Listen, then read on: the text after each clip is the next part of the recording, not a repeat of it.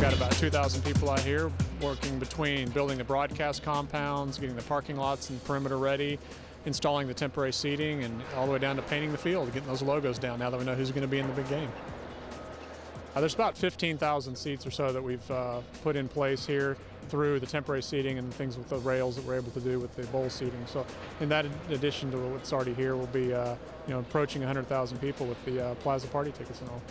You know, I think it's just another example of what we talked about back during the election campaign in 2004 of, of all the great events and the, you know, the economic engine that this uh, building is going to be. We've had a lot of businesses here in the area that have been able to take advantage of this opportunity over the last year or so as the NFL preparations have gone on and all that will obviously culminate uh, on Sunday with the game next week. But it's just an opportunity for the businesses here in the area and the people to, it gets Arlington on the map and the businesses to benefit from it all.